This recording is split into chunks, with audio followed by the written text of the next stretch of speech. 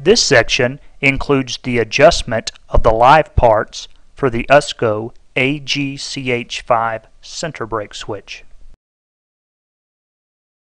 Contact alignment has been adjusted at the factory with the switch in the horizontal position.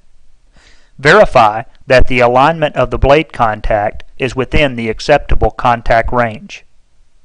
This range is within 3 quarters of an inch on each side of the contact backup. If contact alignment adjustment is necessary, use the leveling studs between the bearing housing and the switch base. Make sure to loosen the bearing peg bolt before adjusting.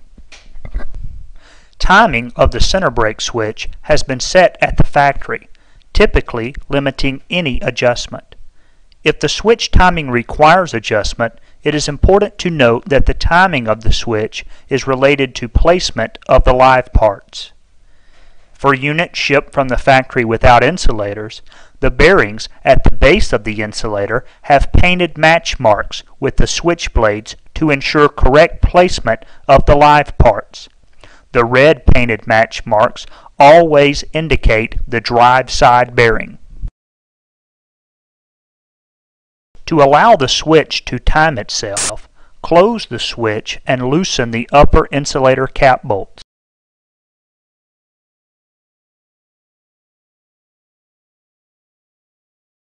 While maintaining contact engagement, shake the blades back and forth to relieve any binding.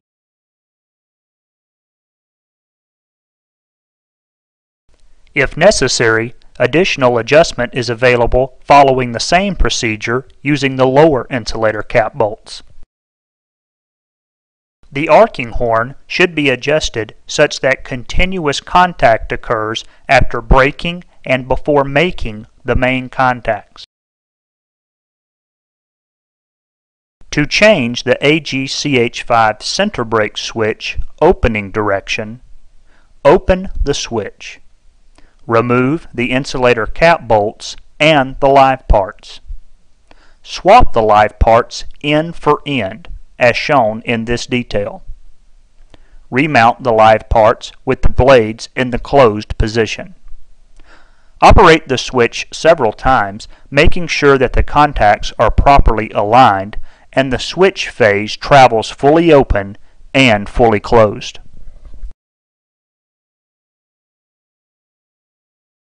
This concludes the installation and adjustment instructions for the USCO AGCH5 center break switch.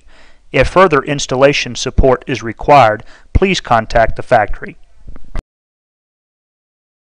When contacting the factory, refer to the work order number shown on the nameplate. All pertinent information on the switch is filed under this number.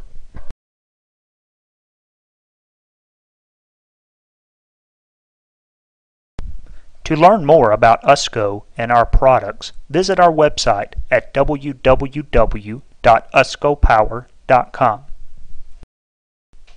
USCO offers a switch installation and adjustment training program located at our facility in Leeds, Alabama.